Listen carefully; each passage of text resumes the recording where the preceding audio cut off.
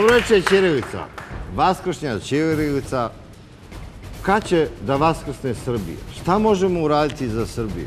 Da li lični primer može biti poučan za druge? Srđane, u najgorim vremenima užasa, ratova, sankcija, ti si imao svoj cilj koji će postati poslednji pozitivni brend Srbije, Novak Đoković. Šta si sve morao da preživiš, jer to nije bio državni projekat. Svi državni projekti su propali, ali tvoj san i tvoja inicijativa i tvoja muka je postala ponos Srbije. Moja porodica i ja smo odlučili da se time bavimo kad je Novak bio mali, znači jedno četiri godine imao i otišao na teniske terene na, na Koponiku gde smo imali neke radnje i od tog momenta je počela, kako da kažem, istorija, ovo što se i dan danas događa je stvarno neverovatno uz pomoć čitave porodice Novak je napravio neverovatan rezultat. Ne samo sportski, nego je on postao jednostavno brend Srbije i prepoznatljiv je svuda u svetu kao Srbin. Kao Srbin. On se ne boji niti plaši da kaže i da pokaže da je Srbin, da, da podigne tri prsta, da, da se ograne srpskom zastavom, jer time on ne, ne, ovaj, ne, ne pocenjuje druge narode, nego samo ističe to odakle. Naravno da to sve manje radi sada zato što sada i nema potrebe. Nekada kada On je promenio sliku o Srbiji. Da, promenio svojim... je sliku koja je bila užasna u Srbiji. Svuda da se vam god otišli, to je bilo na, u, svaki, u svakom pogledu ponižavajuće za sve nas, ali je, eto, srećom, on je uz pomoć ovaj, toga što radi i na sportskom terenu i toga kako se obraća protivniku, kako na pravi način promoviše zemlju koja se nalazi, obraća se domaćinu na njihovom jeziku. Jednostavno je pokazao da za Srbiju ima nade i da Srbija nije ovaj, najgore na svetu, nego je Srbija i Srbi su stari evropski narod i toga i ničega ne treba da se stidimo. A mi smo pokazali kroz, kroz naš lični primer, porodični primer da ništa nije nemoguće. Ko je pomogao? Nažalost, država nije, nije prepoznala kao ni mnogo puta pre toga, ni posle toga šta je u stvari državni interes pravi, jer po nama sportisti su stvarno neverovatni ambasadori svoje zemlje gde se god pojave i mi imamo nezasluženo ovaj, za podršku koju, koju im ne dajemo ogromne, sjajne sportiste koji pronose slavu Srbije svuda po svetu. Nažalost, nismo imali podršku svoje zemlje. Redko koji od pojedinaca bio uz nas, ali smo mi, eto, time što smo bili zajedno, što je porodica uh, stala iza, iza Novaka, pre svega moja žena i ja, ona je odgajala i Marka i Đoleta i i ovaj, radila na Koponiku po 10 do 12 sati dnevno, slala, slala nam je pare, a mi smo putovali svuda po Evropi i svetu i pokušavali smo da, da se on probije tamo gde je, dan, gde je danas. Danas svi u Srbiji kažu svi smo mi Novak Đoković. Kad Novak Đoković pobedi na nekom velikom turniru, kao da smo mi pobedili. A tad ste bili potpuno sami. Apsolutno, mi se ne, ne ljutimo na svoj narod, mi smo Srbi, mi smo i ostali da živimo u svojoj zemlji i u svoj narod, nismo otišli negde vani, a imali smo, verujte, ovaj, mnogo ponuda iz, iz e, nekoliko zemalja ovaj, sa zapada i, i sveta i tako dalje, ali smo ostali da živimo u svojoj zemlji. Ne zato što smo što smo mi hteli da dokazujemo bilo šta, nego zato što smo izdanci srpskog naroda i ne stidimo se toga da, da kažemo da god odemo. A život u ovoj Srbiji za nas je lep, dobar. E, naravno, nije to tako za, za ceo narod, zato što ceo narod, ogromna većina naroda pati, jer od tog života nemaju ovaj, baš neke, ne, e, koristi zato što se nije omogućilo da tom narodu živi na pravi način. Ali evo, Novak je pokazao i porodica da ništa nije nemoguće i da se uz pravi rad i požrtvovanje može ovaj, napredovati u svemu.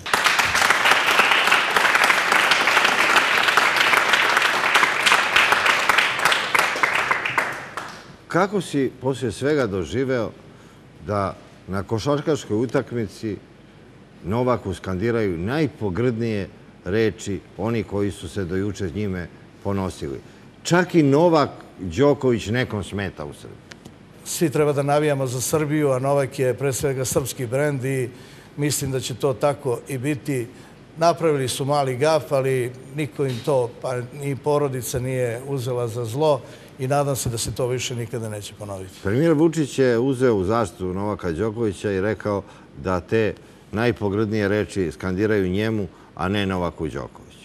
Ja sam došao ovde da pričamo o Novaku, o porodici, o tim vrednostima, politikom i političarima nek se bave ti ljudi koji se bave tom stvari. Kočiću, ti si uvek bio posvećen tradiciji i kao intelektualac i angažovan u političkim strankama. Verovo si da će srpska ideja imati neke pozitivnije strane, čak onda kad nam je bilo najgore. Srpska ideja je velika ideja. Mi smo kvalitetan narod koji e, povremeno, rekao bih i često, dajemo upravo velike ljude. Malo pre smo govorili o Novaku Đokoviću, trebali da podsjetim na čitavu plejadu naših značajnih istorijskih ličnosti. Ovih dana objavljeno u novinama neka anketa i za srpski narod na prvom mestu je gospod Bog, na drugom mestu Nikola Tesla, a na trećem mestu Novak Đoković. To je najnovija gradacija.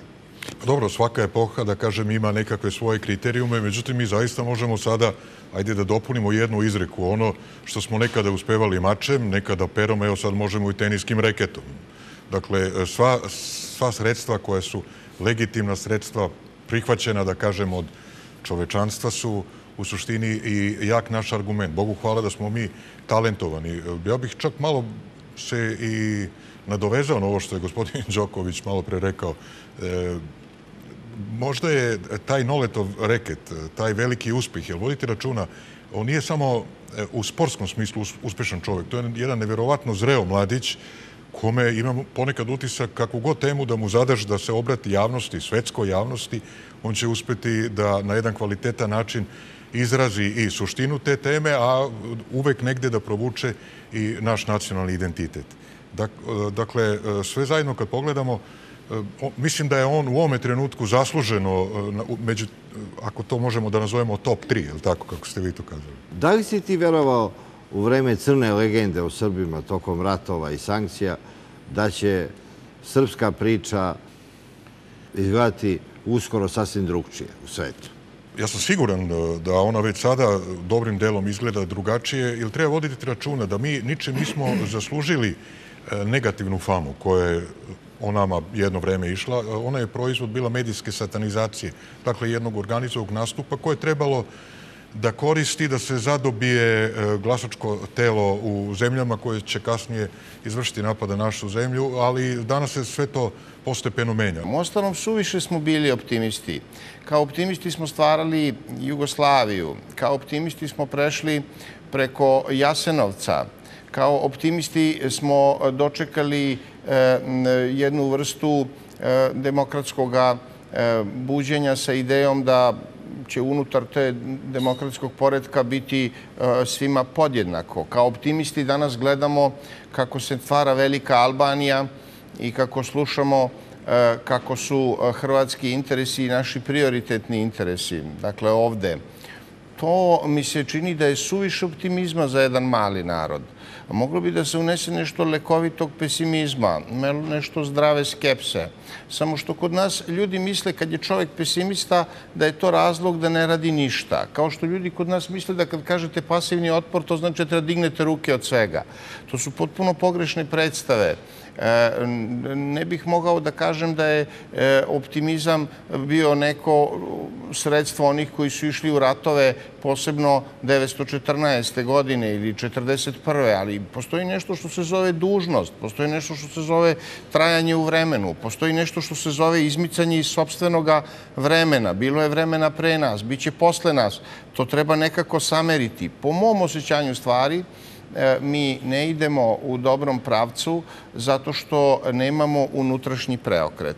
unutrašnji preokret bi značio da se načelo slobode e, koristi sa svojim unutrašnjim značenjem, a to znači slobode e, koja i sama sebe, sama sebe i sebe ograničava i u izvesnom smislu e, to je nešto što fali celokupnom našem javnom prostoru. Dakle, ja mislim da je kriza velika i mislim da put kojim idemo nije dobar. E, to je nešto što mi se čini u svim sferama i ne vidim da je moguće da vi popravite društvo, a da recimo... nego u realnosti. Pazite, ne možete vi da popravite društvo sa idejom da 10.000 profesora treba da izbacite iz škola. To potpuno deluje zastrašujuće. To je ministar prosvete izjavio pre 10 dana. Da 10.000 profesora treba da ostane bez posla. Pa kako ćete da popraviti to društvo? Čime? Koje su to sredstva? Koji su to mehanizmi? U vreme kada vi imate, dakle, jednu od temeljnih institucija jedne države, to je školstvo. Vi ste doveli profesore u stadijom potpune ilegalnosti. Pa dobro, onda ajmo da zatvorimo pa škole. Ja mislim da to je izvanredno rešenje. Traži Svetska banka. Pa znate, ali ako ne postoji e, e, srpski... Lakše je vladati sa glupim Srbima nego sa pametnim. I to je uvek bilo tako. To je tačno. U inače, ne sa Srbima, sa glupima inače lakše vladati.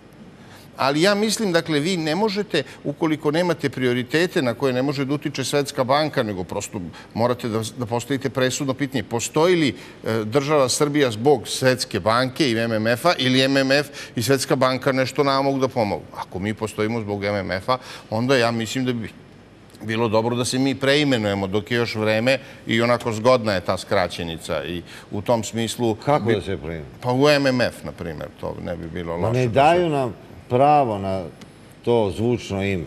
Ja mislim... Inače bi lako, kad bi mi nazvali Srbiju MMF, gde bi nam bio kraj, prosto?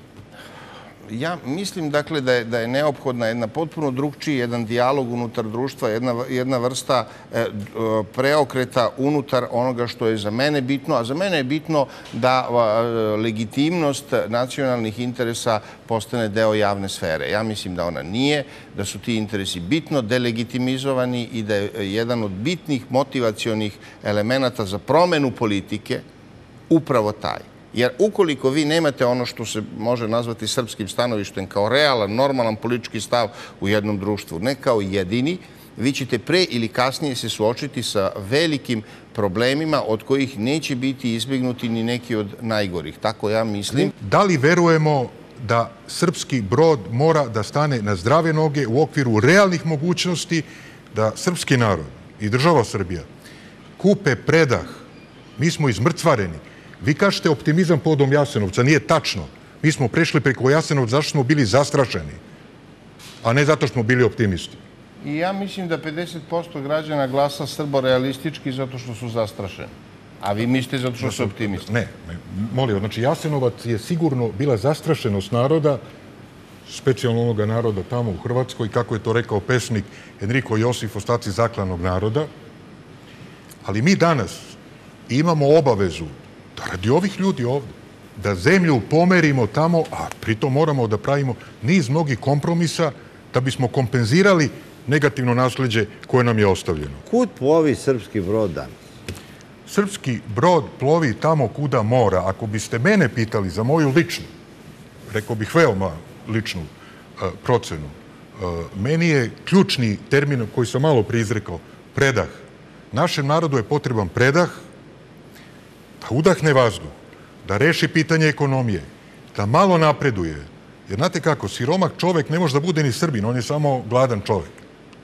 Znači, nama je potrebno da rešimo pitanje ekonomije, zato se vuku određeni aranžmani, potezi. Mi moramo da budemo svesni, inače, da, e, kao što se kaže, avion ne može da se vozi sa naglim skretanjima. Dakle, ne možete da vozite avion ovako, pa po 90 stepeni kako kažu u narodu, zavijete levo ili desno.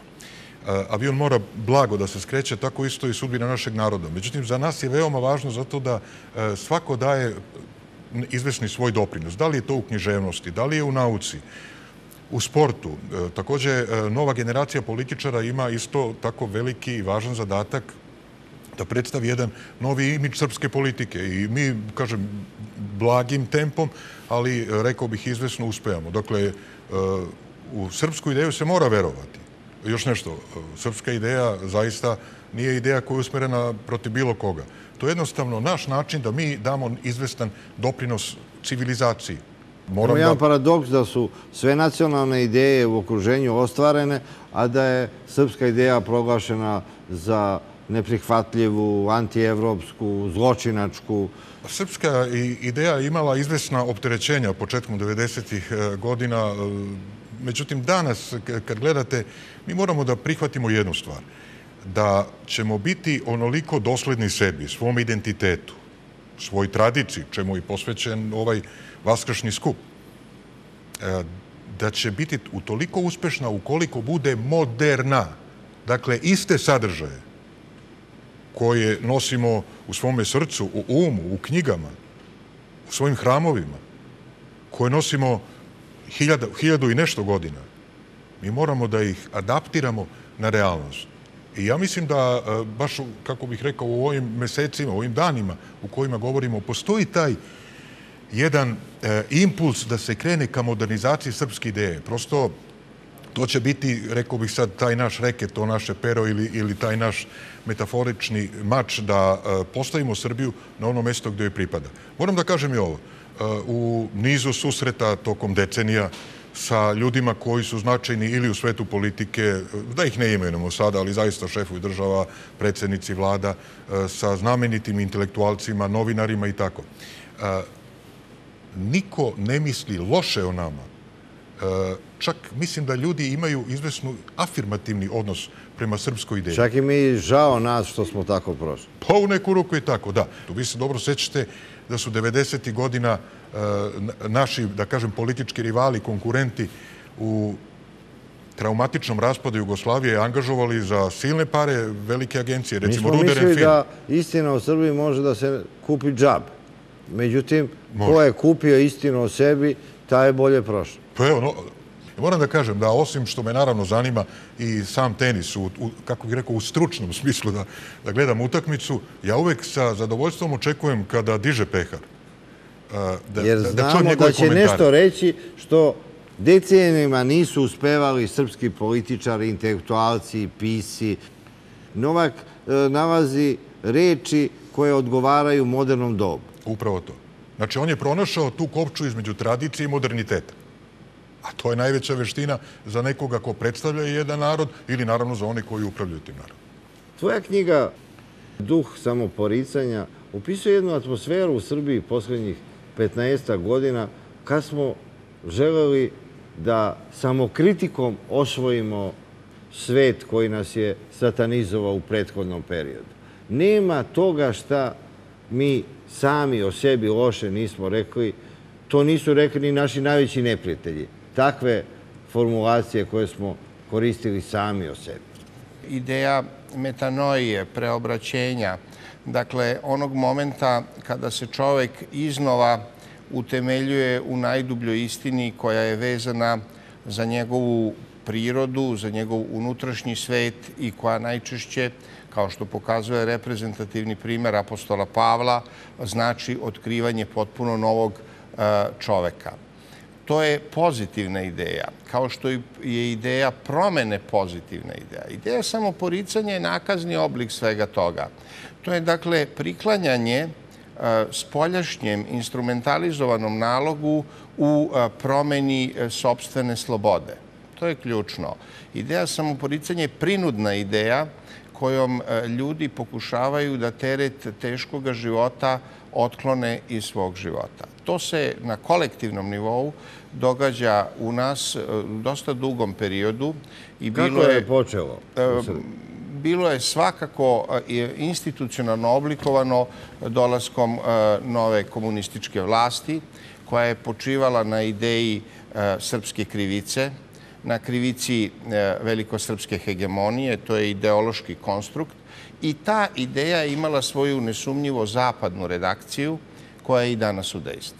Tako da pitanje o komunizmu kao ideološko pitanje je zamenjeno pitanje određenim kulturno-političkim realnostima I mi danas e, vidimo da albanska ideja, pre neki dan smo to videli, ne izaziva nikakvo protivljenje u svetu. Niko ne zna koliko Srbija treba da bude mala da ne bi bila velika. Jeste, to je e, čak i u Haškom tribunalu rekao akademik Čedomir Popov a, tužiocu, pitajući ga dobro koliko onda treba da bude mala da ne bi bila velika. Ali mi vidimo dakle da je takav raspored svetskih sila i u tom smislu je to jedan oblik institucionalnog nasilja koje kod nas doživljava zastrašujući medijski uspon. Prosto javni govor je tako utemeljen da svako iskazivanje elementarnog, razumnog i trezvenog samopoštovanja se kvalifikuje kao grubi nacionalizam, kao ugrožavanje prava drugih, da bi se na primjerima javnog linča ljudi koji takve stvari pokušavaju da zasnuju u javnom prostoru, u stvari pokazalo svima koji put ne treba slediti.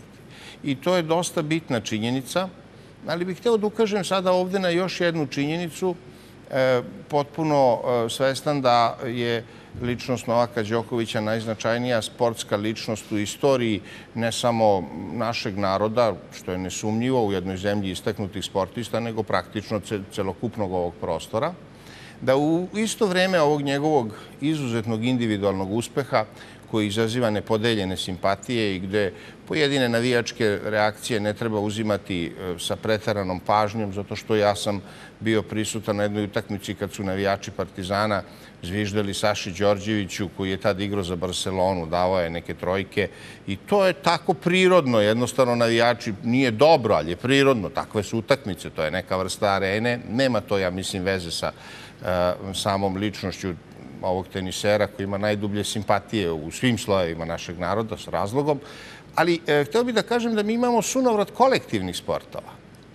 I ja tu vidim jednu bitnu razliku. Novak Đoković je pojedinac i za njega postoji jedna važna grupa ljudi koja čini e, e, važan tim tog najboljeg svetskog tenisera već nekoliko godina, ali mi u jednom sportu gde imamo veliku tradiciju, gde imamo velike igrače, gde imamo velike e, trenere, kao što je košarkaški sport i koji u tom smislu odgovara gradskim uslovima e, života, beležimo e, skokovite rezultate i u nekom smislu ne uspevamo da postignemo približan značaj onome što bi mogli. Ja to povezujem sa situacijom vremena u kom živimo, kada se forsira individualistički način života, kada se na neki način on kompenzatorno prenosi na e, veliki broj ljudi, dok kolektivni sportovi u sebi imaju nešto što bi bilo zajednički duh, što bi oličavao duh jedne zajednice, duh njenog samoprepoznavanja, duh međusobnog pomaganja, duh solidarnosti, i meni se čini da e, e, zanemarivanje kolektivnih sportova je u nekoj vezi sa lošim statusom onoga što smo malo pre imali prilike da čujemo kao što je srpska ideja. Vi kad izmaknete tu stožernu ideju, vi umesto kolektiva dobijete jednu e, zajednicu pojedinaca, jednu zajednicu razbijenih molekula i to je najbolji način da se obavi razgradnja jedne, e, jednog naroda ili nacije e, i jedna vrsta e, dekompozicije jednog prostora. I ja mislim da se to nama događa i da je to nešto što dalekosežno dovodi u pitanje sam naš opstanak. Pre 15 godina, posle pada Slobodana Milošića, prevlada u Srbiji ideja da mi treba da priznamo svoju krivicu, da je srpska ideja poražena i da ćemo dobiti milost e, onih koji su nas porazili. Postoje objektivni interesi, realni interesi e, zapadnih, odnosno američkih sila za neutralizacijom e, srpskog faktora na Balkanu. To su racionalne stvari, to treba prihvatati tako kako jeste, kako postoji i smišljati e, načine da se zaštite sobstvene interese. A jesmo li mi mogli da formulišemo naše nacionalne interese da oni ne budu suprotni vladajućim interesima sveta. Nije moguće e, interese e, lišiti suprotstavljenosti. Interesi su po prirodi stvari suprotstavljeni, ali e, veština je u tome da se ne ide na brid istorijskih okolnosti, da se ne izložite najjačem pritisku u najnepovoljnije vreme za, za vas. I tu veliki i mali narodi imaju različite moći, različite sile. Nema nikakve sumnje da smo mi i posle prvog i posle drugog svetskog rata imali prilike da istorijski drugčije definišemo svoje postojanje. Mi smo ga definisali ovako kako smo ga definisali i nama je zapalo da živimo u trenutku kad su sile Zapada homogene i kad one nisu međusobno suprotstavljene. U Prvom svetskom ratu one su bile međusobno suprotstavljene i Francuska, odnosno Engleska, su imali interese da pomognu Srbiju u njenom odupiranju Austro-Ugarskoj i Nemačkoj. 90. godina su sile Zapada bile homogene i one su nastavile da obliku ovaj prostor kako to njima odgovara u skladu sa njihovim interesima, koji su u toj stvari bili podudarni. I to je nešto što, po mom mišljenju, treba uzeti u obzir. E, pri proceni okolnosti, pa čak i pri promenjenoj proceni politike e, glavnog političara tog vremena. Često se kaže politika Obrenovića, našto Milana Obrenovića, je bila austrofilska što je tačno. Ona je takva postala posle Berlinskog kongresa. problem je međutim u tome što i Milan Obrenović nije menjao nikakav unutrašnji sadržaj e, svoje politike. On nije menjao ni kosovsku tradiciju, on nije menjao ni e, obrazovni sistem, on nije menjao ni svetosavsko predanje. Dakle, on je jednostavno rečeno prilagodio se spoljnopolitičkim realnostima, ali unutrašnji oblik zemlje je ostao e, isti i prirodno je da promenjene spoljnopolitičke okolnosti su naišle na podnu tle i podlogu. Mi danas menjamo unutrašnji sistem samorazumevanja, e, e, šalje se jedna vrsta medijske, institucionalne poruke koja praktično nas dovodi u trajno inferioran položaj, ne u odnosu na velike svetske sile, to je u startu već inferioran položaj, nego u odnosu na susedne e, narode i države u kojima triumfuju upravo nacionalne ideje. I u Hrvatskoj, i u Albaniji triumfuju apsolutno nacionalne ideje. Imamo jedan paradoks da su Zapad, Amerika, na strani svih što su protiv Srba. Kako mi to sami sebi da objasnimo? Njihovim interesima ključno je pitanje kako mi sami sebi da objasnimo to što nismo spremni ništa da žrtvujemo pojedinačno, lično, da bi se uložili u neku vrstu kolektivnog pregnuća i da promenimo ono što je neposredno vezano oko nas. To je ključno. Dakle, e, ne možete vi uticati na politiku nekoga koje mimo vas, a pogotovo koje je mnogo od vas značajniji i snažniji, ali možete uticati na svoje ponašanje. Mi, međutim, ne utičemo na svoje ponašanje. Miloše, ti si kao dete našao se u dramatičnoj situaciji. Tvoja porodica prognana je sa Kosova i ti tada odlaziš u Solun i upisuješ se u srednju bogosloviju. U kakvoj si ti situaciji bio? Nažalost, 1999. godine nakon povlačenja snaga Vojske Republike Srbije sa Kosova i Metohije, moja porodica je tada, dakle tada u tom periodu, bila prognana iz rodne kosovske vitine zajedno sa stotinama hiljada drugih naših prijatelja, braće, sestara koji su tada nasjedno proterani sa svojih vekovnih ognjišta. I znate, ja sam tada imao, završio šesti razred. Teško je bilo ostati bez svog doma, teško je bilo prosto živeti, živeti u progonstvu, navići, navići se na novu sredinu, gledati roditelje kako pate za, za onim što su godinama i godinama stvarali, ne samo oni, nego i, i moji prethodnici, dakle moji preci.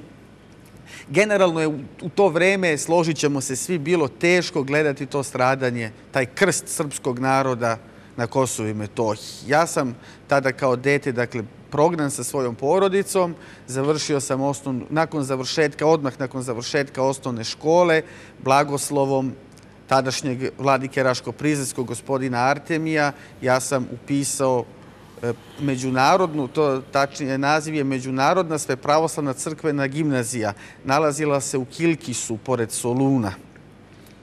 U blizini Soluna. Tu sam završio četiri godine, dakle, srednje škole i nakon toga nastavio svoje studije na Teološkom fakultetu sam u Solunu diplomirao. Takođe i danas sam tamo prisutan i danas tamo nastavljam svoje aktivnosti, a moram da kažem da prvo zanimljivo je kako, je, kako sam baš ja odabran tada od strane vladike Artemija da odem u Grčku kada smo prognani sa prostora Kosova i Metohije, u to vreme je formirano, dakle sam sa svojim e, ponešeni tim našim stradanjem, tom našom mukom, u Srbiji je tada formirano prvo udruženje dece raseljene sa Kosova i Metohije. I to je vrlo bitno da, da srpska javnost zna, jer nikada do tada se nije desilo da deca se organizuju sama i formiraju svoje udruženje. Ja se tada sećam da nismo mogli ni da registrujemo udruženje, pošto smo bili maloletni i onda smo u Beogradu na Trgu Republike napravili jedan skup, organizovali jedan skup gde smo pozvali tadašnju vladu, tadašnju vlast e, i svetsku javnost da, da prosto da, želi smo da im skrenemo pažnju na to naše stradanje i tražili smo tada, dok smo još bili deca, dok je sve bilo sveže, da nas vrate na svoja naša vekovna ognjišta, baš onako kao što su za sedam dana vratili i sve Albance.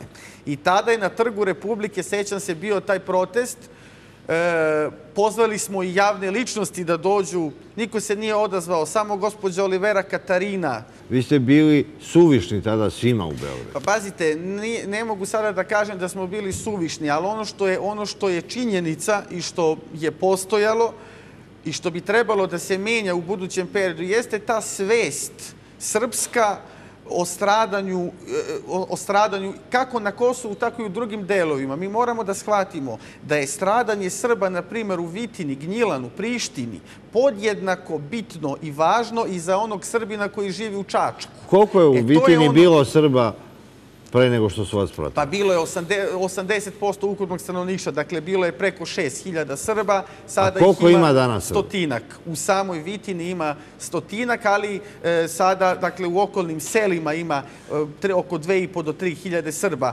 I oni opstaju i žive sada kako žive u enklavi, u getu bore se, dakle to su zaista novi srpski obilići. Ta deca dobro je doći tamo da vidite kako dete iz sela Binač ili iz Vitine ide u školu, znate, pod pratnjom, pod opsadom, bez slobode, e, gde prosto e, teritorija gde se deca igraju je ograničena bodljikavom žicom. 100 metara imaju od, od crkve do škole, to je prosto i njihova škola i njihov i njihov izlazak i njihovo igralište, sve je to. I zato, zato je vrlo važno, srpski političari, pogotovo oni koji, koji sada govori o, o toj patriotskoj Srbiji, kada govori, ima, imate patriotskih snaga u Srbiji koji kažu da su Srbi koji žive južno od Ibra, dakle u tim enklavama poslušna deca. Ja bi im poručio u ovoj emisiji da svoju decu pošalju na mesec dana u školu, u Orahovcu, u Vitini,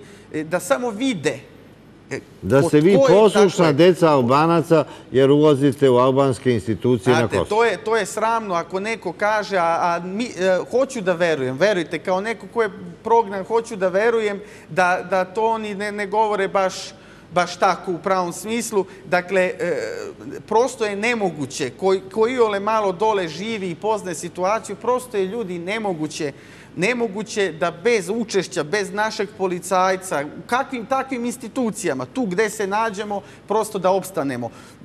I to je vrlo važno. Dakle, odite da vidite malo da neka, neka, neka dolaze što veći broj Srba i u Orahovac, i u Gnjilane, i u Vitinu, u selo Binač neka odu, da vide kako deset, nekoliko desetina tu domoćinstava živi u potpuno albanskom okruženju, okruženi teroristima, koji svakoga dana je pitanje da li ćete preživeti ili nećete preživeti. Kada smo osnovali udruženje, tada se tadašnji premijer Zoran Đinđić, čuvši za taj skup, javio i želeo da se sretne sa nama. I, mi smo, I on je primio vas decu? Tako je, on je primio nas decu, mi smo se sa, njima, mi smo se sa njim sreli, predočili smo mu to naše stradanje, našu muku, Prvi nas je primio tadašnji predsednik Saveznog komiteta, gospodin Momčilo Trajković. On je bio predsednik komiteta za Kosovo i Metohiju. Onda nas je primio i Zoran Đinđić. Moram da kažem da nas je saslušao, da ovaj, da, nam, da je bio spreman da pomogne te sve naše aktivnosti i one su se nastavile. Dakle, mi, mi, nismo, mi smo dizali glas, organizovali smo i skupove i tribine. Tako je vladika Artemije Radosavljević, tadašnji, čuo prosto za mene. Ja sam imao veliku želju da upišem bogosloviju, dakle da, da se školujem e, e za prosto taj neki put neću da kažem svešteničkog čina, ali put da prosto budem teolog u budućnosti.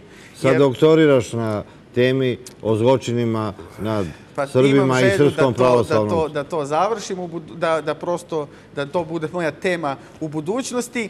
E, ovaj, I tako sam ja polagao tadašnji prijemni ispit u Nišu u bogosloviji, pošto je u Prizrenu bogoslovija u to vreme bila uništena, dakle zatvorena.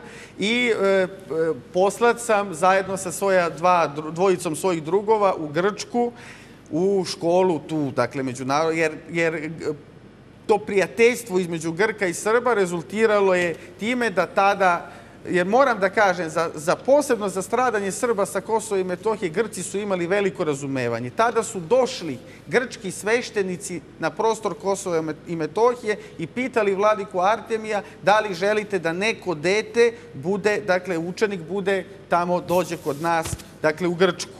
I kada smo tamo došli, bili smo deca, imali smo svega 14 godina, Preuzeli su nas duhovnu brigu o nama, preuzeli su hilandarci. Jedina srpska institucija koja neprekidno postoji. Ti si danas poverenik manastira Hilandara i organizuješ pokornička putovanja gde Srbi pronalaze sebe u Hilandaru koji je jedina srpska institucija koja više od hiljadu godina brani srpske interese na Svetoj gori. Hilandar je žila kucavica pored Kosova i Metohije. Srpski narod ima dve žile kucavice. I dobro je da o tome govorimo u vaskršnjoj emisiji, kada ćemo se pomoliti vaskrslom gospodu da nam pomogne da i Srbija vaskrsne, da i Srbija bolje živi. Dakle, mi kao Srbi. E, srpski narod ima dve žile kucavice. Jedna je Hilandar, druga je Kosovo i Metohija. Hilandar i Kosovo i Metohija su kamen temeljac za našu ljubav prema drugim narodima i za našu ljubav prema čovečanstvu. Ja moram da kažem da je u, u momentu kada, kada sam bio prognan i gospodin Dragan Vasiljević iz Beograda, sada privrednik u, koji gradi na teritoriji Beograda, tada jedini želeo da pomogne to naše studije u Grčkoj i to zaista želim da mu se zahvalim ovom prilikom.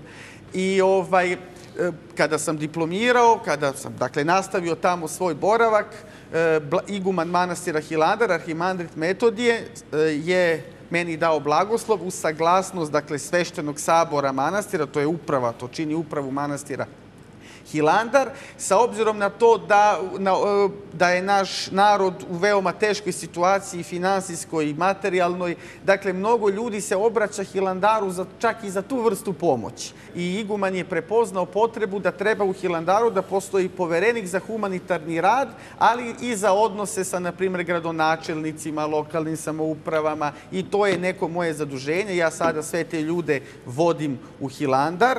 E, ne samo da bi oni tamo otišli, nego da bi prosto ispunili amanet Svetog Save da svaki Srbin treba da brine o Hilandaru kao o svome domu, e, jer, kažem, Hilandar je kuća svih Srba. E, I kako bi, eto, kako bi, eto, nadam se, svetosavske vrednosti u Srbiji bile jače i da se mi Srbi vratimo sami sebi. Ako shvatimo da je svetosavski put jedini put koji, koji nam daje boljitak, sigurno ćemo, i ako tim putem krenemo, sigurno, siguran sam da ćemo vaskrsnuti. I kažem, taj rad ima, ima dosta rezultata, kako na obnovi Hilandara, tako i, tako i na samom podizanju svesti u srpskom narodu o značaju Svete Gore i o značaju Hilandara.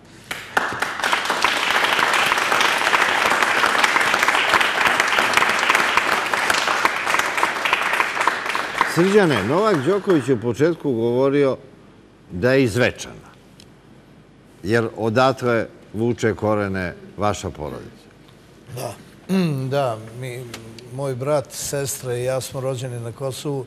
Moji su doseljenici iz Crne Gore. Znači, naša, naša postojbina, naša duša i srce je na Kosovu. To je osjećao i Novak i ostala moja deca, zato što sam ja kroz, kroz njihovo odrastanje govorio odakle im potiče otac i odakle su srpski koreni. To nikada ne treba zaboraviti. Mi smo imali e, e, kao porodica viziju, a Novak ima misiju da, da e, pronese slavu srpskog naroda svuda po svetu. I on to radi maestralno, fenomenalno. A njega ljudi hoće da slušaju kao svetskog šampiona, a srpske političare, intelektualce neće da slušaju. On, on to radi stvarno maestralno i, i radit će u budućnosti, ali neće biti tolikog, tolikog efekta ako se e, država ne trgne, ako ne iskoristi to, to njegovo sjajno obraćanje javnosti i ponašanje koje se dešava svuda u svetu. Naše, naša diplomatska predstavništa po svetu nisu na nivou ovaj, Srbije i srpskog naroda. Nažalost, dešavale su se u, u, u bliskoj, bliskoj prošlosti razne loše stvari. Oni ne prepoznaju ti naši predstavnici u našim diplomatskim eh, predstavništima tamo ne prepoznaju značaj koji trenutno ima tenis, kao što je profesor rekao, ovaj, na, na sreću sad je to tenis, u budućnosti će možda biti i futbal ili košarka, ali opet neće biti ništa od toga ako ne država ne stane iza, iza tih kolektivnih sportova i slaže se potpuno da, da ovaj kolektivni posto, po, ovaj sportovi treba da se vrate na, na ove stare staze slave kao što su nekada bili. E, naši ljudi koji tamo rade, nažalost, e, neće da, da borave u, u, na, u teniskim, e, ovaj, e, na teniskim stadionima i tamo gde se odigravaju najveći turniri u Parizu, Londonu, Njujorku, tamo gde se gde Srbija ovaj, na pravi način prezentovana kroz Novaka, Jelenu, Anu, Janka, Viktora i ostalih naših sjajnih tenisera, sportista nego sede u svojim diplomatskim predstavništima i hoće da im se dođe na noge. Ali naši predsjednici, premijeri su odlazili na finale Wimbledona, finale nekih velikih turnira i slikali se sa Novakom kao da su oni dobijali te pehare i...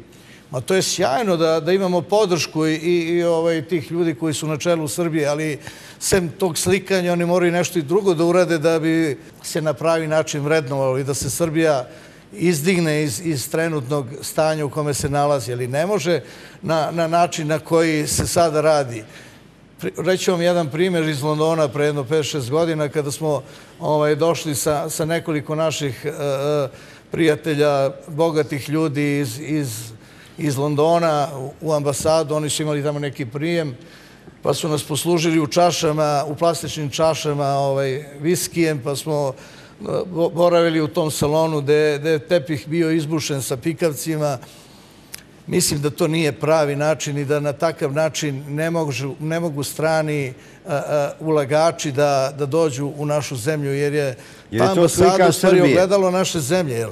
Vi, e, e, ljudi koji hoće nešto da urade za ovu zemlju, da pomognu, oni prvo gledaju ambasadu. Ako su ambasadi to događa što se događalo tu i u ostalim ovaj, zemljama, da vam ne pričam, onda naravno da neće ni doći. Stranci pokušavaju na sve moguće načine da, ne svi, ali dosta njih pokušavaju na sve načine da minimiziraju to što je Novak napravio. Pa su sad, sad neki stranac je tamo napravio knjigu o Novaku i njegovom životu i, i drzno se da, da, da ovaj, e, komentariše porodicu i, njegov, i, i njen uticaj u razvoju Novaka i tenisku sportu u Srbiji. Sve što je Novak uradio ili radi, on je to naučio iz svoje porodice i iz odnosa koji su vladali u njegovoj porodici, iz e, vaspitanja koje su, koje su mu pružali njegov otac i majka, pre svega, onda i naši ovaj, e, e, rođaci bliži i dalje i tako dalje. Na neki način smo uspeli da ga izdvojimo iz, iz žabokrečine koja se događala u to vreme ovde kod nas i eto, Nisu hteli da ti pomognu ni država, ni tajkuni, niko nije imao razumevanja, čak ni teniski savez. Niko nije verovo da će Novak postati prvak sveta. Ne, čak su me smatrali ovaj, ludim, pošto sam ja govorio uvek da, da će Novak biti to što jeste. Naravno, on je pre jedno 3-4 godine sve moje, sve moja maštanje i moje snove već je tada ostvario. Ovo je stvarno neverovatno što radi dalje. Ja sam verovao iskreno u to, zato što je tadašnja, kad je on počeo da trenira, znači napunio je samo 7 godina, postojao neki kamp Jelene Genčić na Koponiku i on je otišao tamo. Mi smo imali neku radnju preko puta tih terena. Posle ovaj, nekoliko dana... Šta ti imali pizzeriju, pa činkarnicu? Jeste, to i moj brat je držao ovaj, butik i tako od toga smo živjeli u najgore vreme, ovaj, u vreme bombardovanja i sankcija i tih i tog ludila koje, koje su nam ovaj, stranci uradili. Mi smo živjeli gore, pa eto na taj način smo uspeli da, da pomognemo našoj deci da se izdvoji svih tog, svog tog lošeg života. Jelena je rekla da posle Monike Seleš nije videla tako talentovano i, i ovaj, sjajno dete i da će on sigurno biti među deset na svetu. Vodio sam ga svuda po svetu, razgovarao sa raznim stručnjacima i nikada nisam čuo drugo mišljenje. Morao si da pozajmljuješ novac od zelenaša. Oni su te jurili. Niko nije imao razumevanja, a Boba Živojinović, sada predsjednik Saveza, je rekao jednom biznismenu da od Novaka neće biti ništa. Jeste, nažalost, rekao je našem ovaj, uh, biznismenu uh, Milanu Jankoviću da je Novak dobar, ali ima, da, da ima bolesno srce, bolesnu petu i da mu je tata ne, ne mogu za saradnju. I tim svojim, tom svojom rečenicom on je me napravio pakao od života naredne tri godine. Šta ste vi preživljali u tom periodu? Pa, razne stvari, užasne. Mi smo živjeli u, u izvanjenim stanovima jedno 17 godina i ovaj, kad smo se posljednji put preselili, nosili smo te, te neke naše ormare i te, i te ovaj, krevete na kojima smo spavali i to je sve bilo više razglavljeno i tako dalje. Nije moglo da se na pravi način živi. Ali eto, kažem vam opet, to što je porodica bila zajedno i što smo svi zajedno imali jedan zajednički cilj je doprinulo da naša deca ostanu normalna i da se da se Novak razvije u ovo. Ko je Novak ugovorio šta treba da govori? To nikakva marketinška agencija, nikakvi e, spin doktori.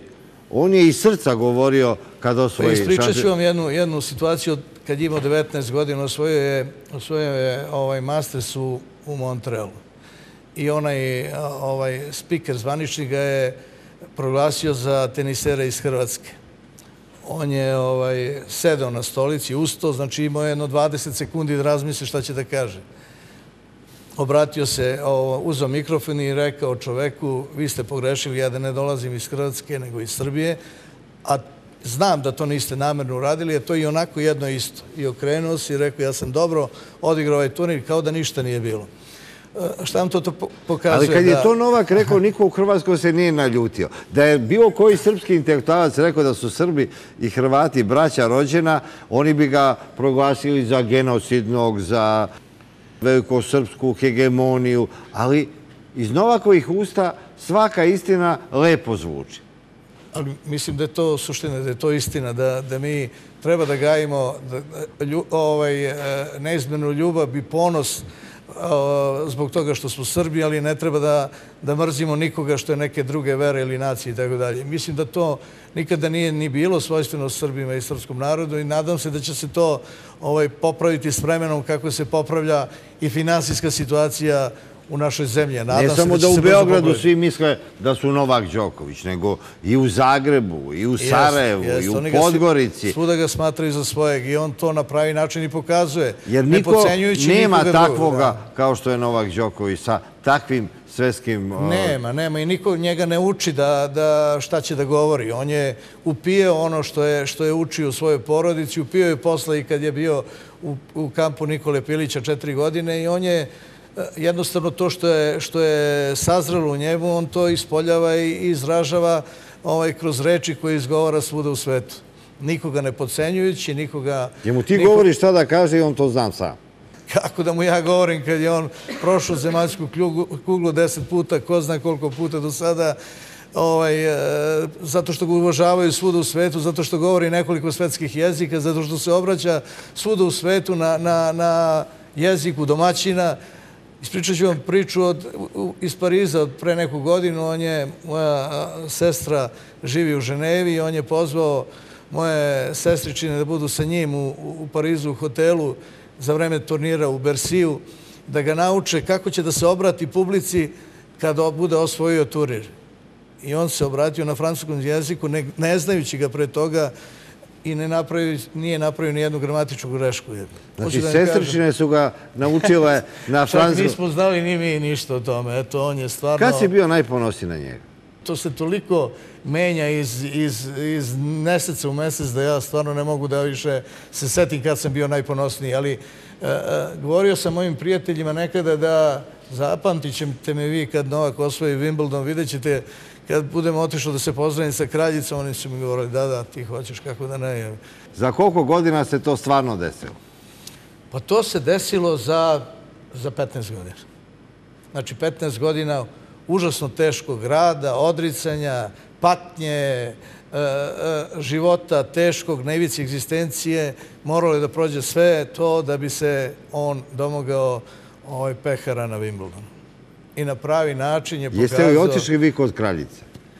Nismo otišli kod kraljice, zato što kraljica nije bila tu, ali su bili neki, neki članovi kraljevske porodice i oni ga cene i poštuju neverovatno, ne samo oni, nego i, i predsednici vlada i država da se god nađe. On je, ne znam da li znate kakav je kakav uticaj ima u Kini, u toj našoj prijateljskoj mnogoljudnoj zemlji, u Japanu, odakle mu je sponsor, i to možda mogu da vam ispričam, on je imao ovaj, sponzorski ugovor sa Sergio Tekinijem, e,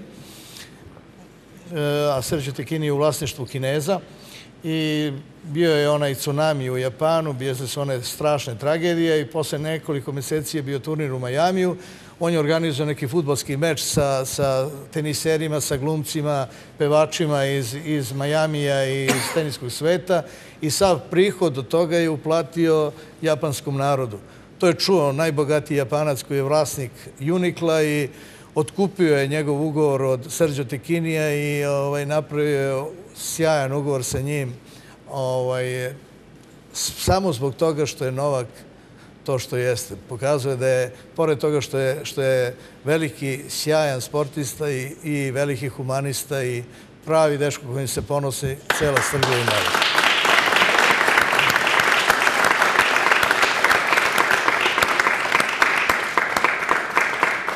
Kočiću, kad ćemo mi biti šampioni kao što je Novak Đoković u tenisu i u politici, i u privredi, ekonomiji, u različitim oblastima?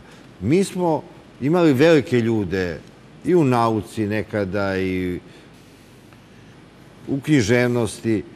Kad ćemo ponovo biti priznati od sveta? Upravo pravo pitanje za nas e, jeste ono staro, šta da se radi ili kako da se izađe iz onoga što možemo da nazovemo zaglavljenost. Mi smo malo istorijski zaglavljeni. Pa nije loše da se samo kratko osvrnem sa jednim kratkim reflektorom na taj razlog zbog čega se nalazimo u tom jednom procepu iz koga nikako da izađemo. E, Činjenica je da smo mi tokom 6-7 decenija zaboravili dve stvari. I za, zanemarili i zaboravili. Jedan je nacionalni identitet u ovome smislu u kome smo svi govorili, dakle mi smo se odrekli svog nacionalnog identiteta. Ja pamtim kada su sveštenici Srpske pravoslavne crkve bili parije. U moj kući se inače uvek e, slavila slava Mitrovdan, uvek su dolazili do Svete Vodicu za Uskrs i pred slavu pa i dan danas. Ali se sećam kako su izgledali ti sveštenici. Mi smo to potpuno zanemarili. Šta smo još zanemarili? Zanemarili smo onaj građansko-demokratski aspekt naše nacionalne istorije. Mi smo do drugog svetskog rata imali jednu relativno razvijenu demokratiju. Pre prvog svetskog rata, malo pre smo pomenuli kralja Milana, ali ne samo njega, mi smo imali e, jedno ozbiljno građansko društvo. Šta znači građansko društvo? Da svaki pojedinac slobodan, da može da piše, da iskaže svoje misli i da dobrobit celoga društva zapravo nastaje iz konkurencije različitih ideja. Mi smo to imali. Međutim, e, posle 45. godine e, to je nestalo. Znači, oba aspekta koji su bitni za postojanje jednog naroda. Mi moramo da obnovimo nacionalnu samosvest. Mislim da je to otprilike gotovo i kompletirano e, u onom mitskom konfesionalnom smislu, etničkom smislu, ali bih hteo da dodam i ovo. Da moramo da imamo modern koncept nacije na građanski način. E, postoje ljudi koji su drugačijeg etničkog stabla kod nas, a koji su izvanredni stvaraoci, lojalni građani ove zemlje, ljudi kojima se ova zemlja ponosi i koji se ponose ovom zemljom. Enes Halilović, mladić, gotovo 35-6 godina ima, eto, nešto malo ka srednjem dobu, jedan izvanredan pesnik, pripovedač i mislilac, koji je već laureat e, tri glavne nagrade kod nas e, u književnosti. Branko Miljković, Đura Jakšić i nedavno Meša Selimović. Dobio je za e, zbirku pesama Zidovi. Jedan sjajan čovjek.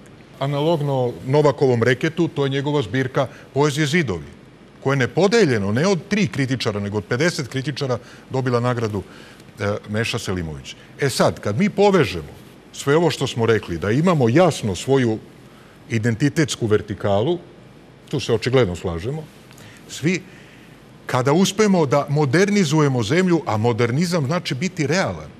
Dakle, modernizam mora da u sebi uključuje i ekonomski napredak, ako hoćete, pošto živimo u epohi u kojoj su slike najvažnije, Gospodine Mariću, za vas je slika jednog prekrasnog Beograda, ne znam da kamera može da pokaže, neka to bude i Beograd na vodi, sasvim svejedno, ili ova slika. Ova slika je napravljena pre projekta Beograda. Pa, odlično, Mi smo je slikali sami. Pa vi uvek idete Jednu korak viziju. ispred vremena, Mariću. Nažalost, po meni. Ne, ne, na sreću, pa vi ste naša dragocena adresa. Mi smo s poštovanjem došli ovde, tako gospod? Dakle, e, pa kad shvatimo šta to znači, da će nas prepoznati i preko Beograda na vodi, Pazite, da li se nekom sviđa, ne sviđa, ili recimo preko fantastičnog arhitektonskog projekta. Evo, recimo, meni se Dobro, ne sviđa. možda se vama ne, ne pa sviđa. dozvoljeno, kako da ne. Ne, ne. A, pošto, ja, pošto ja branim ideju modernizma, ja znam šta to znači. Do sada i da smo tim ritmom išli kao do sada, to bi bila samo sačuvaj Bože ledina u korovu. Imamo projekat Zahe Hadid, podno Kalemegdana, koji se meni baš i ne sviđa mnogo. Jer može eventualno malo da naruši ambijentalnu celinu. Ali za, Svetski arhitekta. Slušajte, to studio... treba na ruševinama Beka da nastane Vrhunski neko arhitektonski čudno. objekat. Vrhunski arhitektonski objekat. Imate takozvani oblak koji je uradio jedan od najvećih arhitekata današnjice, Fujimori. On predstavlja e, stepenasto spuštanje sa Kalemegdanske terase ka Savi. I tako dalje, i tako dalje. Pazite, da li se sad nekom sviđa, evo ja sam bio isto prilično otvoren, rekao da mi se e, ovaj projekat Zahi Hadid ne sviđa u potpunosti, bar u tom ambijentu. Ali mi moramo da idemo dalje, moramo da budemo prepoznati po onim parametrima po kojima i ceo svet meri to isto. Dakle, tu bi bila ta ravnoteža između našeg dubinskog identiteta, onaj koji nosimo preko hiljadu godina, između svetosti naših hilandara i često da prepoznamo da recimo, kad smo već pomenuli englesku kraljevsku porodicu, da je prestolonaslednik prin Charles, inače veliki ljubitelj Hilandara i kada je Hilandar doživeo onu tragediju pre deseta godina, on je jedan od donatora koji... Prin Charles izvolite, izvolite. E, nije e, samo ljubitelj Hilandara. Znači, šta se dešava? Prin Charles je veliki prijatelj e, Svete Gore i prijatelj posebno jednog manastira Vatoped. Vatoped je pobratimski manastir sa Hilandarom, znate. I kada je, na primer, to je jako zanimljivo, kada je u Vatopedu slava, tada dužnost igumana toga dana obavlja hilandarski iguman. A kada je proslava u Hilandaru, dakle, Vatopedski iguman tada ima ulogu igumana. Vatoped i Hilandar su bratski manastiri. E, poznato je da je otac Jefrem, iguman Vatopeda, jednako, jedan od bližih prijatelja ruskog predsednika Vladimira Putina i da se sa njim više puta sastajao, a e, upravo je e, preko manastira Vatoped uspostavljena ta veza princa Charlesa i, i manastira Hilandara, tako da je Iguman i bio gost tamo na ranču princa, princa Charlesa pre izvesnog vremena e, i on dolazi, tako je, dolazi povremeno. Kada govorimo o Hilandaru kao o paradigmi našeg identiteta, upravo onome što sam govorio, nemojte uvek da gledamo samo direktno etničko stablo, nego duhovno opredeljenje. Pazite, drama srpske istorije se i odigrava u duhovnoj sferi. Vi ste pomenuli metanoju, preumljenje. To je nama potrebno. U Hilandaru, jedan od najistaknutijih monaha, koji je u Kareji bio predstavnik Hilandara, je otac Serafin, je li tako? A on je Hrvat etnički. Frano se zove zato što je studirao sa mnom pre 40 godina filozofiju. Jedan sjajan, divan čovjek. I tako dalje. Dakle, moramo da budemo moderni. Međutim, e, A zašto smo u ekonom- 90. bili tako staromodni, da. Naše ideje niko na svetu Pa da, nije mogao da zato što, ni, vidite, ja sam rekao da smo imali 50 godina zaglavljenosti u jednom istorijskom periodu u kome nikako ni da se okrenemo svoj unutrašnjosti, a isto tako bili blokirani, isprečeni, inhibirani da se okrenemo razumevanju sveta oko nas. Možda da smo mi prvi uveli višepartijski sistem 89. 90. godine pre Slovenaca, možda bi dru, istorija drugačije izgledala. Da smo 90. u Beorodu rekli da smo za Evropu i NATO bila bi dozvoljena čak i Velika Srbija. nas radi, je važno da se setimo te svoje demokratske istorije. Mi smo prosto narod koji je, vodite računa, iz druge polovine 19. veka na ovamo, stvarno bio fascinantno napredan u odnosu na druge sredine. Takođe, Srbija je za dva veka neprestano se širila i dobijala više prijatelja u svetu, da bi mi za par godina protraćili dva veka moderne srpske istorije, jer nismo shvatili realnosti posle pada Berlinskog zida. Dakle, ponovili ste ono što sam ja malo pre rekao. Moramo da shvatimo realnost. Grčka je zemlja koja e, nigde nije odstupila od svog malo dužeg, istorijski dubljeg identiteta, računajući i antičku Grčku, vizantijsku, pravoslavnu Grčku, Grčku koja se borila je za slobodu protiv Turaka, civilizacije. koja je, je stub civilizacije uopšte kao takve, jedan od stubova civilizacije i koja je uvek ostajući svoja uspela da pronađe i e, najpraktičnije, rekao bih, najpragmatičnije moduse opstanka. Danas je moderno da se govori o Grčkoj u, u svetlu, e, rekao bih, jedne vrste e, male revolucije koja se dogodila sa izborom Sirize. Međutim, e, Srbi inače imaju mnogo toga da nauče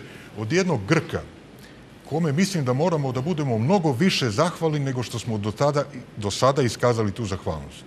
Reč je o Elefteriosu Venizelosu, koji je bio predsednik vlade Grčke, koja je u tom trenutku, Prvog svetskog rata, kada bila pod velikim pritiskom Nemačke, da se ne propuste srpske jedinice preko teritorije Grčke.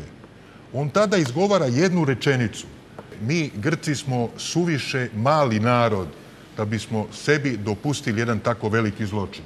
Miloše, šta znači Siriza? Pismos risteras, to vam znači savez izvorne levice, dakle riza na grčkom koren, dakle izvorne levice. Šta, kako je u stvari nastala Siriza? Stranka se zvala Sinaspizmos, dakle samo stranka levice jedna. I imala je tada e, četiri poslanika u Skupštini Grčke. Znate, međutim, onda u jednom periodu su, e, nastalo je dakle, da se više tih levičarskih stranaka, manjih levičarskih partija, ujedinilo u jednu partiju i e, nazvali su e, Siriza, dakle ta koalicijna spizmo, Savez izvorne levice. I za predsjednika stranke izabran je Aleksis Cipras. Oni su tada kad, kao savez, znači na prvim sledećim izborima imali su nekih dvadesetak poslanika.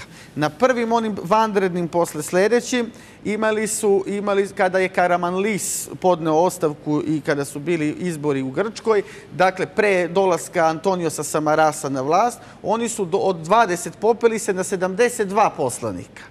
I sada od 72 poslanika na prošlim izborima, za godinu i po dana popeli su se na 149. Ti si povezao srpske političare sa Ciprasom. Iako je srpski politički stav bio da prihvatamo bezuslovno sve namete i Evropske unije i Međunarodnog monetarnog fonda. Cipras je ponudio još drugo rešenje.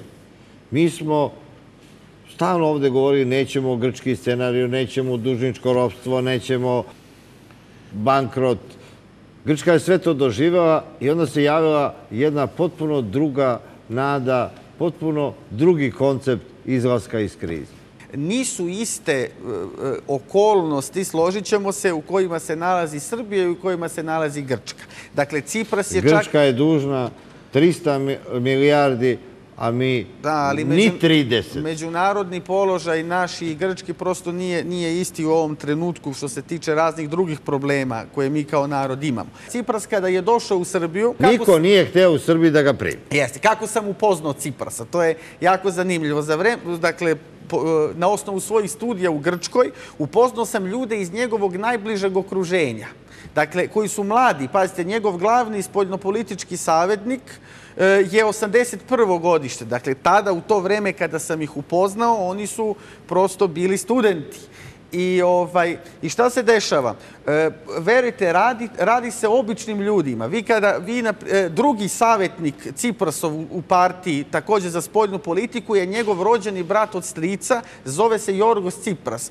Verujte, kada vi njega vidite, pomislit ćete da je to običan... Kao fizički dakle, radnik. Kao fizički rad. Ap- Apsolutno, apsolutno jedna mirnoća, apsolutno jedna, jedno poštenje, zaista iskrene namere i, i jedan skroman život. To je e, ono izborna levica što bi oni to što bi oni tada rekli. Dakle mi smo se tada upoznali. Inače Cipras je bio toko 2005. posetio je Kopaonik. I tada je bio poslanik, niko nije primetio u Srbiji tada da je, da je, da je došao budući, evo vidite sada jedan značajan, političar e, u celoj Evropi. E, Cipras je, e, vidite, nije tačno kada mi kažete povezali ste, povezao sam političare u Srbiji i Grčkoj. Ja sam samo pospešio te odnose. Inače, srpskoj javnosti je manje ili više poznata činjenica da Aleksandar Vulin, predsednik pokreta socijalista i generalno pokret socijalista imaju najbolje veze sa Sirizom i najizraženije i najrazgrađenije. A kad je Cipras došao u decembru u Beograd, svi su bežali od njega. e, Da pa- se ne, naru, ne naljuti Samaranc. Tako je, jer nije bila situacija da se baš opozicioni lider prima na najvišem nivou, a prethodno, pre nego da Cipras dođe, na, na, u organizaciji Bratislava Jugovića, direktora pokreta socijalista, e, došao je njegov Ciprasov brat od strica Jorgos Cipras i ovaj glavni spoljnopolitički savjetnik gospodin Vangelis Kalpadakis i oni su bili prethodnica dakle tom dolasku Ciprasa. Tačno je da neki nisu želeli da se sretnu sa njim, ali e, se on e, prilikom dolaska u Srbiju sreo prvo dakle sa domaćinom Aleksandrom Vulinom koji mu je, dakle, na čiji je poziv i došao. Onda se sreo sa našim patrijarhom Irinejem, ja sam prisustvovao svim tim sastancima, sreo se sa predsjednikom Tomislavom Nikolićem, na tom sastanku nisu želi da, da, da, da bez, bio je sastanak bez Niko prisustva nije medija. htio da se slika sa Ciprasom, tako da ne bude sumnje. re- rečeno je, ja mogu da, to je, bila, to je istina, tada je, tada je rečeno da prosto što se tiče samog sastanka kod, Tomi, kod Tomislava Nikolića, sastanak je održan, ali bez prisustva medija. Tako da e, samo su se uslikali na kraju sastanka, imali su jednu zajedničku A sad fotografiju. svako u Srbiji hoće da se slika sa To je jedna stvar. Druga stvar, primio ga je i, i potpredsjednik vlade Ivica Dačić, ministar spoljnih poslova. Tu je, bilo, tu je bilo kamera, kaže, primio ga je patrijarh. E, sada, vidite, stvari se menjaju. Ali ono što je vrlo, ono što želim da, e, i molim vas da, da posebno naglasim. E, mnogi u Srbiji nisu verovali da, da će Cipras pobediti. Nisu verovali da će Cipras toliko ubedljivo pobediti. A evo, desilo se to da je Cipras pobedio i budite uvereni, poznajući njega lično i poznajući njegovo okruž- okruženje, a poznajući i grčki duh i mentalitet, verujte, sada kada bi bili izbori u Grčkoj, on bi dobio 62% glasova, verujte, biće, biće, doneće nešto novo. Ali je vrlo važno da znamo i jednu stvar. Dakle, zlonamerne su, su neka pisanja tamo sada vlada Srbije protiv Ciprasa ili nešto tako. Cipras je jasno rekao i kada su njegovi predstavnici sada nedavno bili u Nišu, jasno su rekli mi podržavamo mere vlade Srbije zato što smo svesni da su malo drugačije okolnosti u kojima se Srbija nalazi i želimo najbolje odnose sa i vladom i, I mi državom bi isto Srbijom. rekli da nećemo I da vraćamo dolazi sada u Srbiju dugove, sedam- ali ne smemo i nismo u toj situaciji. Profesor, jesmo mi pod prinudnom upravom? Ovo što je rekao moj kolega Kojičić je tačno. Nema sumnje, impulsi modernizacije nikako ne mogu da idu mimo onoga što je duhovna situacija vremena. Ali e, kada je reč o e, modernizaciji, onda ipak treba voditi računa o činjenicama. Ono što se meni ne dopada prevashodno kad je reč o ostvarenju Beograda na vodi, jeste način da se to sprovodi na isti način na koji je zidan onaj most, džinovski veliki, koji sada tamo vodi preko Ade Ciganlije. Divan most, samo šteta što nikud ne vodi. Prvo i osnovno, dakle, i tada su strukovna udruženja, i tada su stručnjaci po novinama govorili, osporavali, e, pokušavali da ometu, ali tadašnji gradonačelnik Beograda bio je prvo gospodin Bogdanović, posle je bio Đilas, a obojica su iz iste demokratske stranke, dakle, su se oglušili na to. Jednostavno su se oglušili. Sadašnja vlast je tad bila opozicija i kritikovala je takvo postupanje. Mi sada vidimo istu proceduru samo sa drugim akterima. Pa to nije modernizacija. To je jedno isto. Samo prosto rečeno isti način Kao da smo mi, ponašanja. profesore, ostali Samo da ja završim zemlja od pre nekoliko decenija. Kao To se znači da mi nismo prosto rečeno načelni. Dakle, jednostavno rečeno, e, ne može biti modernizacija ako drugi akteri se ponašaju na isti način. Modernizacija je ako se nešto promeni u načinu. To je ključno. Da pogledamo medijsku scenu. Nije ona ništa sada bolja nego što je bila do onog režima koji je smenjen 2012. godine. Ima ljudi koji misle da je gore. Ja ću se uzdržati da dam svoju procenu. Premda je očigledno šta mislim. Ali je suština vrlo jednostavna. To nije modernizacija. To je prosto rečeno... Da li Srbi E pružaju otpor modernizaciji? Da li možda nešto u nama i- ima neki crni mrak koji nas vuče u blato neprestano? Kao da e, ne želimo da se menjamo, da prihvatimo realnosti velikog sveta. Pa Kogod se promenio i kogod je pokušao da nešto stvori u skladu sa svojim vremenom i uspeo. Menjati se na, na juriš ne može. Nije nikad ni moglo. 45. godine su se menjali ljudi na juriš, na, pod puškom, pod eh, prisilom i kroz potpuni monopol eh, sile, informacije i propagande. Na, na, na takvu vrstu eh, kretanja vi možete samo da se menjate sa radikalnim štetama po sebe. Znači, s jedne strane nešto dobijete, nešto gubite. Mnogo je bolje da se društvo menja onako kako ono prirodno može da se menja, postepeno, da se prenosi znanje sa jednog naraštaja na drugi naraštaj. Svaki naraštaj je ograničen vremenom i iskustvom koje ima. I u tom smislu e, mi se čini da i ova sadašnja e, vlast kao i prethodna ima manjak realizma. Realizam je nešto što je, što je izvorno. Ako vi govorite o tome da mi nemamo prema sebi neprijateljski usmerenih kretanja, pa to ja mogu da tumačim kao političku dosetku, ali ponašanje vidi e, da to nije tako. Dakle, prosto morate realno gledati okolnosti u Ali mi kojima... smo naivno verovali da je Milošević problem. I nismo ozbiljno shvatili Miloševiće reči na odlasku. Ne napadaju oni e, Srbiju zbog Miloševića, nego Miloševića zbog Srbije. Praktično iste su konstante pritisaka bile i u vreme Miloševića 90-ih i posle 5. oktobra i danas. Jeste, ali ima bitna jedna razlika da je ovo prvi put da vi više nemate parlamentarnu ni jednu evroskeptičku i nacionalnu stranku. To je bitna razlika u odnosu na sve situacije do 2014. Više ne postoji disonantni glas unutar Srpske skupštine sa nacionalnog stanovišta. Ne sa stanovišta evropskih integracija, gde se oni takmiče između toga ko će bolje da, da ostvari nešto što nas približava Evropskoj uniji, nego sa stanovišta nacionalnih interesa vi nemate ni jedno jedini alternativni glas. To znači da je kod nas ukinuto alternativno mišljenje. Šta to znači alternativno mišljenje? To znači da vladajućoj paroli Evropa nema alternativu, supr- suprotstavite drugi način mišljenja. Da postoje ljudi koji kažu ne, to nije tačno, ne po tim uslovima, ne na taj način. To ne postoji.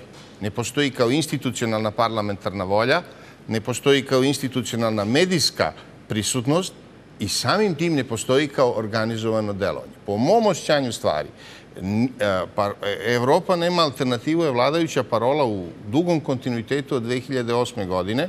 Ali, profesore, ta ideja je trebala pobedi u Srbiji kao u svim srećnim zemljama 90. godine. I ovo što mi sada radimo, trebalo je da radimo od 90. A danas je Evropa potpuno nešto drugo nego što je bila 90. kad su zemlje ulazile i dobijale neke benefite jer je Evropa pucala od snage, od ekonomskog prosperiteta. To nije današnja Evropa. Evropska ideja ima svoje oblike pojavljivanja i ona ima svoje oblike krize. E, kad je reč o nama i našim prilikama, one su složene. Mi smo jednu više nacionalnu državu sa unutrašnjim velikim problemima koji se mešali sa ideološkim sadržajem, sa geopolitičkim stremljenjima različitih strana. Ono što je međutim sada, po mom osjećanju, bitno, to je da postoji jedna institucionalna uniformnost, da postoji medijska uniformnost i da to po mom osjećanju ne može da rezultuje dobrim ishodom. Zato ste vaše pitanje, jer smo mi pod prinudnom upravom, ja malo modifikovao i upotrebio onaj izraz koji ja više volim da koristim, da smo mi u kolonijalno-okupacijonom stanju. Okupacijono stanje je izrazito na Kosovu i Metohiji, to je apsolutno očigledno, a okupacijono, a kolonijalno stanje je u, na teritoriji ostaloj u Srbiji. Znate, mi imamo vidnu dominaciju stranih interesa nad našim sobstvenim interesima. Mi imamo kao nedostignuti cilj postavljeno kretanje. Mi imamo obrazlaganje tog kretanja u medijskom prostoru koje dostiže razmere nepodnošljivosti i mi nemamo alternativno mišljenje. Alternativno mišljenje je nužno. Evo, Grčka, pomenuli ste, pobedilo je mišljenje koje proglašava sebe da je alternativno. Ja nisam siguran koliko je moguće da bude alternativno, jer su geopolitičke prilike takve kakve jesu, ali je pobedilo drugo mišljenje. Pa sad koliki će njegovi biti dometi, vidjet ćemo. Kod nas jednostavno drugo mišljenje ne postoji. Mi smo tu situaciju imali jako dugo i u tom smislu period 90. godina je bio pravi demokratski period u odnosu na sadašnje stanje govora i stanje svesti. Vi nemate... Imamo prosto jednu situaciju da praktično oni ljudi koji su bili moralno-politički podobni po onom komunističkom sistemu, 2000. godine su postali politički korektni po američkom šnicu. Praktično u istoj porodici su dva puta bili zastupnici propisane istine. Dok su njihovi roditelji donosili istinu iz Moskve, njihovi sinovi su bili instruktori demokrate iz Vašingtona. Sa istom netolerantnošću bahatošću i beskrupuložnošću? Pa zato što je to tako uređeno jer je poredak koji je došao ovde sa sovjetskim tenkovima vrlo brzo dobio karakterističnu zapadnu redakturu u unutrašnjem obliku, a posebno u spoljnoj politici. Mi u ovim okolnostima nemamo nikakav solidarni princip. Evo ja ću baš govoriti o svojoj struci. Vi imamo dugotreni štrajk prosvetnih radnika e, koji traje već poprilično dugo a, u osnovnim i srednjim školama. Ali vi nemate nikakav, nikakvu reakciju univerziteta na štrajk koji njegove kolege sprovode u srednjoj i osnovnoj školi. Univerzitetski profesori su sebe jednostavno izuzeli iz toga. A bio je štrajk na filozofskom fakultetu? Ne, ne, ali ne povodom toga. Dakle, ne, kao, ne, dakle, ne postoji vertikalna povezanost strukovna A to su ljudi kojima smo mi predavali. Ja sam profesor universiteta, ja sam te ljude gledao, viđam ih na seminarima jednom godišnje, to su, to su moji đaci. Oni protestuju u školama, a mi se ponašamo kao da se to nas ne tiče. Ja sam radio u nekoj školi skijanja na Koponiku pre jednu, nije važno da jedno 30. godina i svi mi u toj školi skijanja na desete smo bili ovaj, zajedno, u grupi i borili smo se za naše interese i od Genexa koji je u to vreme bio naš poslodavac, dobijali smo sve, zato što smo bili svi zajedno. Prve godine. Druge godine su oni načli domaćeg izdajnika po znacima navoda i počeli su da rovare među nama i više nikada ništa, ništa dobili. To je slika sadašnjeg stanja, dakle, rasparčanog društva, razbijenog na atome i molekule koji plutaju, gde uspesi ovako jednog izuzetnog čoveka... Da samo misle o sebi, nema trunke one solidarnosti koje je krasila... Jeste, a bez te neke unutrašnje zajedničke e, solidarnosti nije moguće postići iskorak na nivou celine. Moguće je kao pojedinac, kao što Novak Đoković postiže svetski rezultat, kao pojedinac uz podršku onih koji su s njim, ali na nivou celine vi ne možete da mobilišete društvo ni na odricanje, ni na e, e, postizanje nekog cilja, ni na samopregor, ni na trpljenje, ni na kompromise, ukoliko vam ljudi istinski ne veruju da je to na nivou celine. A ne mogu vam verovati ako postoji samo jedno mišljenje ako postoji samo jedan zastupnik tog mišljenja i ako postoji jedan način da se do toga dođe. To nije normalno, to nije u ljudskoj prirodi. Nema solidarnosti na nivou nacionalne privrede. Nama se događa da je najveći trgovinski lanac iz zemlje koja otvoreno neprijateljski nastupa neprekidno prema našim državnim i nacionalnim interesima. Neprekidno nastupa, a taj trgovinski lanac Mi smo potpuno je otvorili prekrio. granice posle 5. oktobra i svi interesi su postali legitimni u Srbiji, kao što se i tražilo od e, Srbije na putu evropskih integracija. Jedino su bili uvek sumnjivi srpski nacionalni interesi. I u ekonomiji, u privredi, u trgovini, u svemu. Pa to je tačno tako. E, Malo pre smo govorili, promenit ću temu namah o, o, Novaku Đokoviću i o recepciji njegovoj u inostranstvu. Ja se sećam jednog teksta koji je specijalno napisan za Peščanik. E, holandska novinarka je napisala gde je ona opisivala čak njegov nos i njegovu bradu. E, dakle, e, išlo se na, na, na fizičku diskvalifikaciju čoveka što je potpuno politički neprihvatljivo. Probajte nekog da fizički diskriminišete pa ćete vidjeti kako ćete proći. Dakle, jednostavno takav odnos koji se prema unutra po- pojavljuje prema jednoj takvoj, dakle, potpuno nesporno simpatijama A obremenjenoj elita ličnosti. koja se pojavila posle 5. oktobra, ona čak je bila nepoverljiva. Govorila je da ipak su bolji igrači i Federer i Nadal. Čak naši komentatori na televiziji u početku nisu nešto hvalili Novaka Đokovića. Govorili su o njegovim greškama, da je on njegova šampionska priča prolazna, da će on kratko trajati. Srđane, ti si morao da pobesniš, čak da se obračunavaš sa sportskim komentatorima koji su navijali otvoreno za Federera i Nadala na početku karijere Novaka Đokovića. Nažalost, to je tako. Bilo, ali ima tih slučajeva i dan danas ima. Znači, kad Novak napravi poen, oni kažu, dobro, Novak je osvojio poen. Kad ovaj, Rafa osvoji poen, on kaže, kakav poen je osvojio Rafa, to je prosto neverovatno. I znači, igraju Đoković i Rodžer i tako dalje. Ne znam šta je u pitanju. Verovatno je, verovatno je previše Putovo si veliki po uspeh. svetu. Da li e, neko Ma ne u Španiji ma postoji. navija Ja. za Ma Novaka i u. Švajcarskoj? To, e, ne, navijaju, ali, ali ovaj, e, e, na televizijama svi podržavaju domaće tenisere, što je prirodno i normalno. Pa gledajte samo u Hrvatskoj kako, kako prenose hrvatske tenisere. Ja to ne kažem sa, sa ovaj, ne znam čim, nego sa, o, sa zavišću zato što se oni na pravi način odnose prema svojim sportistima u odnosu na naše komentatore, većina njih ovaj, kako se i dan danas odnose prema Novaku. Zašto je to tako, ne znam. Vjerojatno je previše veliki uspeh za ovakvu malu zemlju, ovaj, previše veliki uspeh i za Ameriku, a ne za Srbiju. nijedna zemlja nije e, uspela da napravi neko ni privredno čudo, ni kulturno čudo, ako ceo narod nije učestvovao u tom poduhvatu.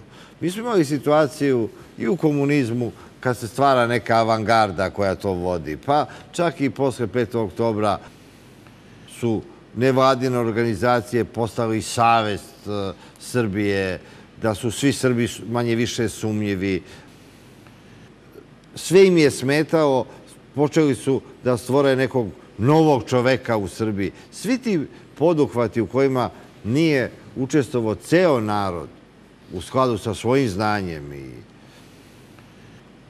trpljenjem i verom i nadom nisu dali neki rezultat. Kad će Srbi konačno da se dignu i da stvore nešto veliko kao narod? Moramo da imamo dve stvari. Jedna stvar jeste identitet, a druga stvar jeste realizam. E, recimo, da bih ja sebe danas da me pitate da li si evrofanatik ili evroskeptik, rekao ne, ja sam srborealista.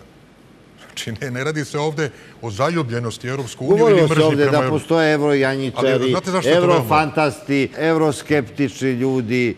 Pazite, to su konstrukti za nižerazredne političke borbe. Ovde se radi o nečem sasvim drugom.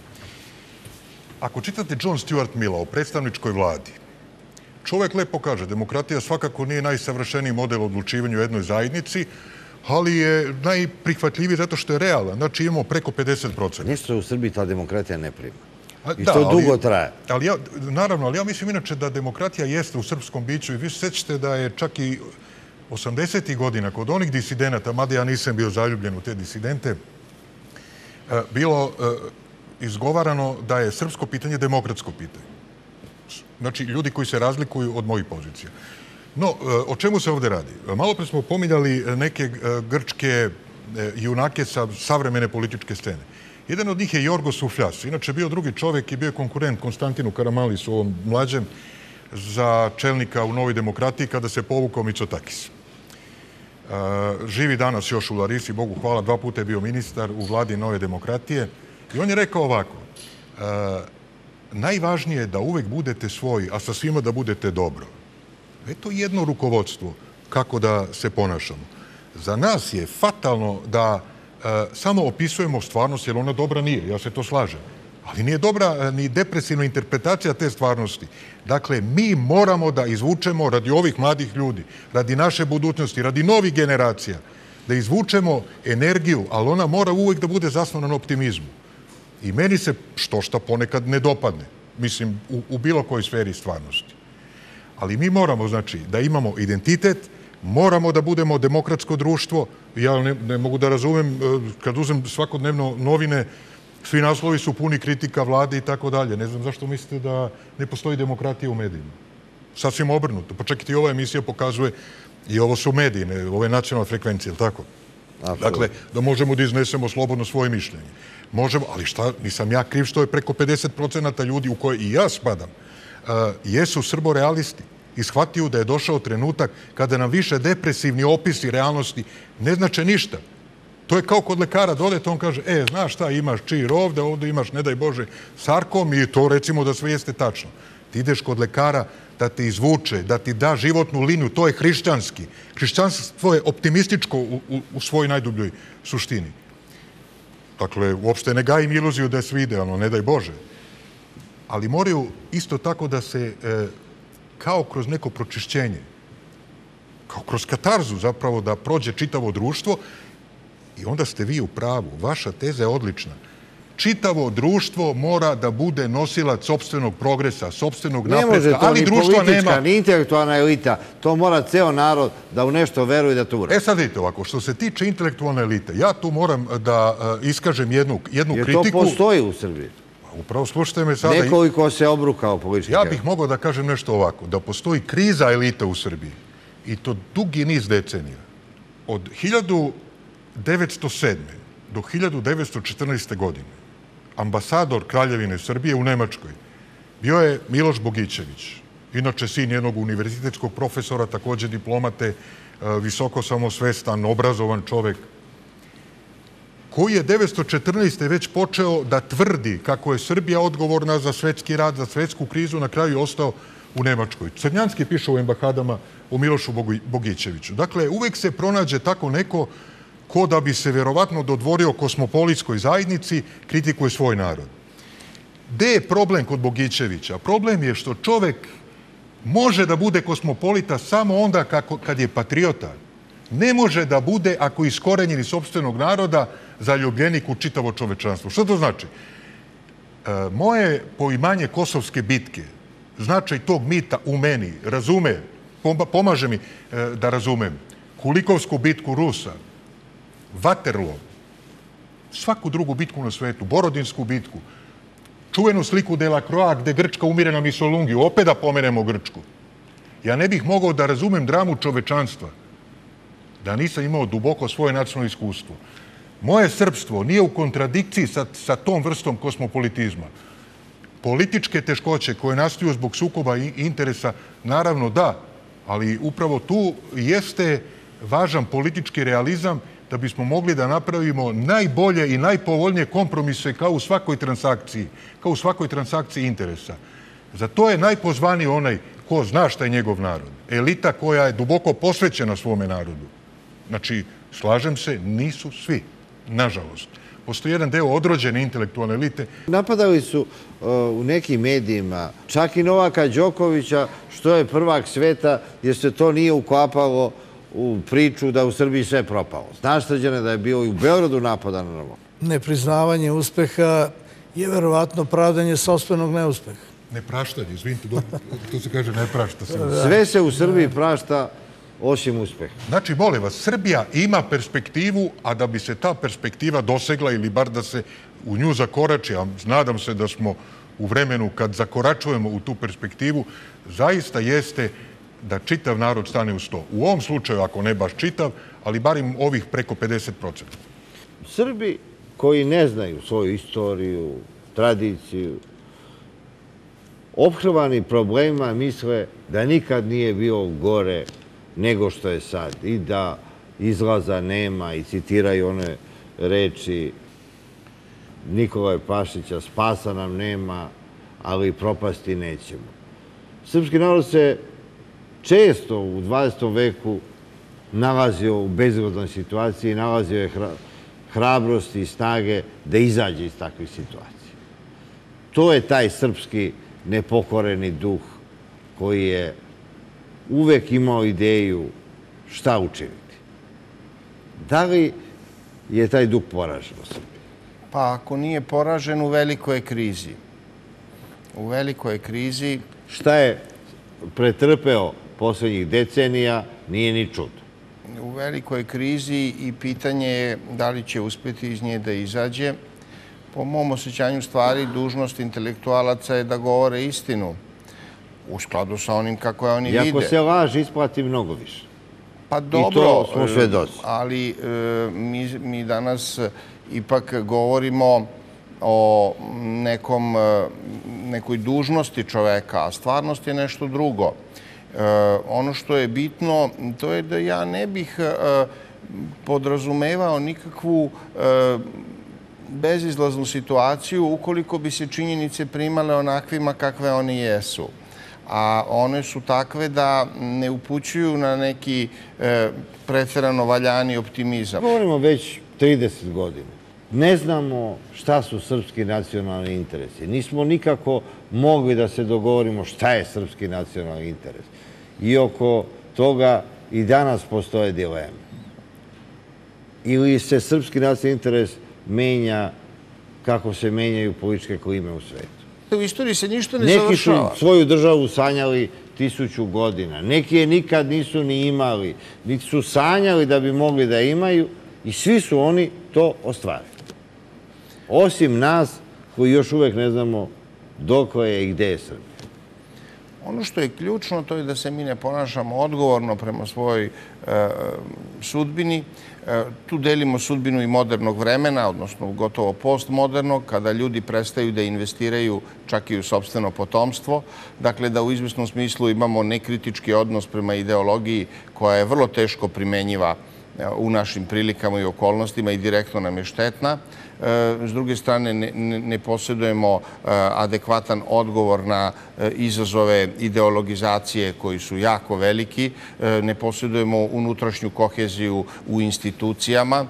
Preovladao je potpuni individualizam u ciljevima i sredstvima. I kada vi to sve postavite na jedno mesto, onda dobijate jednu situaciju koja bi se mogla nazvati kontrolisanim ili organizovanim haosom, a ispod koje se kriju dubinski procesi truljenja i raspadanja društva. Ja ne mislim, tu se razlikujem od moj kolege Kojičića, ja zaista ne mislim da su 50% ljudi u Srbiji eurorealisti zato što glasaju za vladu srborealisti zato što glasaju za vladajuću stranku, nego mislim da oni glasaju za vladajuću stranku u sadajstvu različitih faktora koji sami po sebi nisu realistički. Pošto sam ja izdavač učbenika, tako ste mi predstavili, tako? I dobro znam šta je kultura i šta je osnova kulture. Ali e, politika... Da li je evropska vrednost da srpski učbenici se štampaju u Zagrebu i u Kini? Objasnit ću vam sada. A čak i da se uređuju možda u Briselu ili u Ovdje se radi o tome, o, o jednome paketu nasljeđa koji je užasno komplikovan i loš. Znači, od 45. pa možda i od 918. kada mislim da je bolje da smo imali jednu e, svoju sobstvenu zemlju koja bi se zvala Srbija nego da smo ulazili u jugointegracije. 45. godine, kasnije sve druge greške, kako bih rekao, do skora. Dakle, paket je užasan i potezi koje danas mora da radi vlast, oni su iznuđeni. Niko to ne radi zato što Neke voli od tih međunarodni mera je trebalo Izvinite, sprovesti ali niko na 90. svetu ne neke voli Međunarodni 2000. monetarni fond, ali mora neke da radi. 2005. Ja se bojim da ni vi, ja, ni vi, ni ja nismo e, dovoljno stručni da možemo da ulazimo u taj oblik e, razumevanja ekonomske situacije. Vi dobro znate da sam ja od 88. godine bio aktivni učesnik tog procesa stvaranja Srpskog nacionalno-demokratskog pokreta. Pa i ona knjiga Strela vremena i Horizon slobode, je tako? To je svedočanstvo. Dakle, ne od juče. E, sam sam prolazio e, i dramu oscilacije u mišljenju, ali realnost je takva. Nijedan političar ne može abstraktno i neodgovorno da misli da postoji samo jedna linija, ja sam tu zacrtao, idem tamo. Mnogo Da li su se umeđu vremenu mnogi obrukali na čelu Srbije? Znao si dobro te ljude, bio si im prijatelj i u mladosti i deo nekog intelektualnog sveta kome si ti pripada. Mnogi su mogli mnogo više da urade za Srbiju nego što su radili. Jeste. Dakle, ja i dalje ostajem kod toga da je e, kod nas ta jedna, rekao bih, pre, ne, ne mitska, nego kvazi mitska matrica često bila opterećenje. E, meni je drago da čujem da smo nebeski narod, to lepo zvuči. Ali bih više voleo da sebe vidimo kao realističan narod, kao politički narod. Za nas je ključ, borili smo se i vi i ja, za političko društvo koje podrazumeva i određene razlike. I da na demokratski način, demokratski u političkom smislu, ali rekao bih e, i ovako pluralan u kulturološkom smislu, da se borimo za svoje stavove. Znači, ja imam pravo i vi imate pravo da iznesete svoj stav. Porazno i za tebe, i za mene, i za sve prisutne, da je posle svega najbolji srpski vladar Josip Broz Tito, zato što nije bio Srbin, a da su se obrukali i Slobodan Milošević, i Zoran Đinđić, i Koštunica, i Boris Tadić. Čemu se radi? Šta je s nama? Josip e, Broz je imao i, i povoljne epohalne okolnosti, dakle, da igra jednu dobru igru između istoka i zapada. E, U politici, inače, to je poznato To što su Titu dali nama danas ne daju da. Od, od Cicerona inače poznato nešto da u politici je važno imati i sreće. Znate šta, neko možda bude rođen genijalan, ali da jednostavno nema sreće. Jednostavno, okolnosti mu ne idu na ruku. Imali smo mi e, niz, e, nažalost, promašenih političara koji su bili veoma etički, veoma utemeljeni ljudi, veoma racionalni u političkom smislu i kulturno To e, si na ti veoma visokom nivou. napisao u pismu svom prijatelju Koštunici, gde si rekao šta bi mu rekao da si ga vidio. A vidio si ga ceo život i verovaš da on može da uradi nešto veliko za sebe. Verovao sam, da. Jesi verovao da Milošević može da uradi nešto veliko? A, Budući da dolazim iz e, porodice koja je bila demokratski antikomunistička, u početku sam smatrao da Srbija mora da bude demokratska, e, višestranačka zemlja i malo pre rekao, žao mi je što nismo to uradili pre drugi. Ali e, kada je napadnuta Srbija propagandom, politički na kraju krajeva i vojno. I ne samo Srbija, nego i srpski narod koji živi na teritoriji današnje Bosne i Hercegovine, ondašnje Srbije na teritoriji današnje Hrvatske. E, Ja e, nisam sebi smeo tada da dozvolim luksuz pa da kažem to nije moj rat, to mene ne zanima uopšte, pošto sam ja protiv Miloševića. Dobar deo Srba je tako govorio. E, ali ja nisam tako. Ja sam jednostavno bio odgovoran, šta god mislio o komunistima i Slobodanu Miloševiću, ja sam shvatio da je ovde napad ide, kako bih rekao, iz drugog ugla. A jesi verovao To da znači će posle ovako, 5. Mariću. oktobra biti bolje? Evo, na primjer, sad smo se, e, pri gospodin Lo- Lompar i ja ovako diskurzivno, pojmovno, e, malo razlikovali negde. I sad, recimo, možemo mi da se posvađamo, na primjer. Izađemo napolje, skoči neka ovaj, e, ne- neki snagator ovde i ud, krene da, da bije Lompara, iako on je poprično korpulentan. Kreće na vas da krene. Teško da će da uspe, ali, ali šta, šta misliš, Mariću, šta bih ja uradio? Pa prišao bih da branim. E, isto tako i sa mojim sunarodnicima. Oni nisu uvek u pravu, ali ja moram da ih branim. Ko je najgori srpski vladar našeg doba, profesor? Tito je, A oni misle da je najbolji. Tito je apsolutno najgori vladar koji je ikad vladao Srbiju. Pa nije valjda gori od, Od. Koštunice, Borisa Tadića. Koštunica je bio političar sa greškama i on u mom doživljaju stvari je apsolutno iznad drugih političara posle 5. Nije valjda Milošević bio bolji od Tita. Neuporedivo. Pa poslije mjesec dana vladanja Slobodana Milošića Beograd je osvanuo pod e, grafitima Bravar je bio bolji. Pa zato što je on na vlasti i danas, Ko? Tito. Je Tito na vlasti? Jest. Po čemu?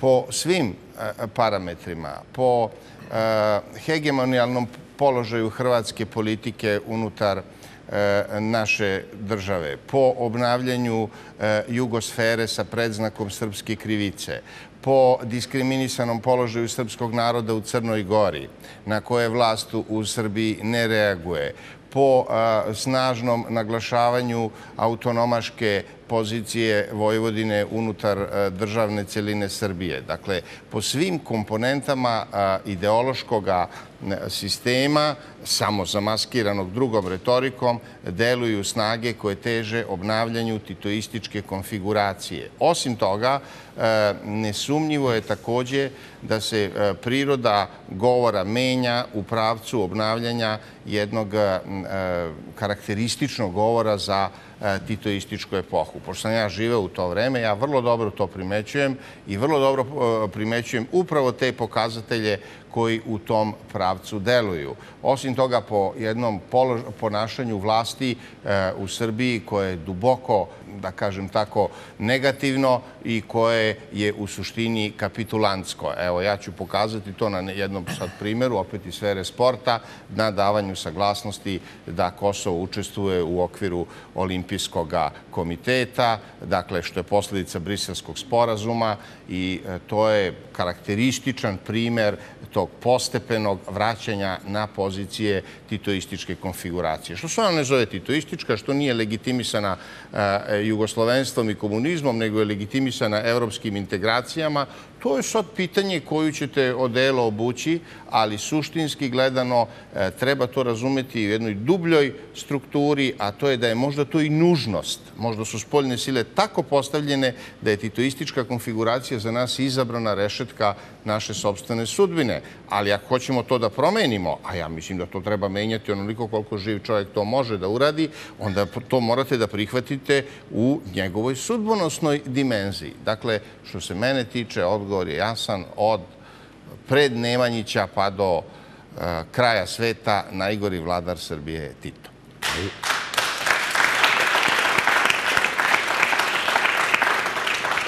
Zašto ga se tako s nostalgijom sećam? Vratno su ovi koji su došli posle njega, ti mali titići, se obrukali još više. Ne, nego je to instrumentalizovano. Svakoga dana na RTS-u 2 ide emisija ili jednom nedeljno o Titu. Ima jedno 30 nastavaka. To deluje kao čista propagandna konstrukcija koju vi posmatrate i gde nema ničega od onoga što... To je u skladu sa onom idejom... Ne, ali to su mere propagande. I posle Tita Tito. E, to su mere propagande. Uzmite film... Vreme prolazi, sve je življi. Koji je snimljen Marš na Drinu, izvrstan film, 964. povodom 50 godina Cerske bitke. To vam je najbolja kulturološka redakcija titoizma. Dakle, snimljen je odličan film sa odličnim glumcima sa uverljivom pričom, prosto izvanredan je film i svi ga volimo. Jedno vreme nije mogo da se gleda u bioskopima, pa je potom e, prikazivan. Ali ako odete u muzej u Šapcu, Narodni muzej u Šapcu, ako odete, vi ćete vidjeti stalnu postavku izložbe o Cerskoj bici. I tamo ćete vidjeti e, na desetine fotografija leševa ubijenih civila u Mačvi, dece, žena. To je Archibald Rice radio, jer je on bio izveštač ratnih zločina. Vi u tom filmu, koji je inače izvrstan film, nemate nikakvu takvu scenu. Zašto? Šta bi bilo ugroženo? To je dakle ta fina redakcija koja se odvija tako što ćete neprijatna pitanja stavljati po tepih, a ta pitanja će ostati. Evo jedno neprijatno pitanje. Da smo valjali, ne bi se 90-ih svi od nas razbežali.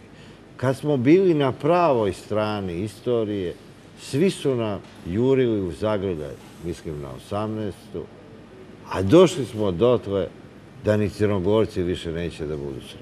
U Crnoj Gori je bio popis 1909. godine, na vlasti je bio knjaz Nikola i po tom popisu koje je sprovodila tadašnja kneževina Crna Gora, bilo je e, 95% ljudi koji su se nacionalno izjasnili da su Srbi, jer je Crna Gora bila srpska država. Sad je u nemilosti i njegoš jer je mislio da je Srbi. Ali je poenta u tome da popis iz 948. godine je rekao da Srba u Crnoj Gori ima 1,8%. To je u jednom istom naraštaju. Dakle, to su mere prisile. Danas kad gleda čovjek Marša Drinu, nevjerovatno da je krajem 60. godina uopšte je snimljen takav film sa srpskom temom. Međutim, dve stvari. Prvo, preporučujem svim gledalcima i ovim mladima ovde da pogledaju studiju e, akademika Zlate Bojović o Dubračkoj književnosti, najnoviju, pa će vidjeti i kako stoji stvar, inače sa područjem Dubrovnika, oko nacionalnog identiteta. Ali po dva, jedna dobra vest, znači u vezi Marša na Drinu. E, Filmski reditelj Nedeljko Despotović i, e, grupa sineasta, pregalaca, Tihomir Stanić,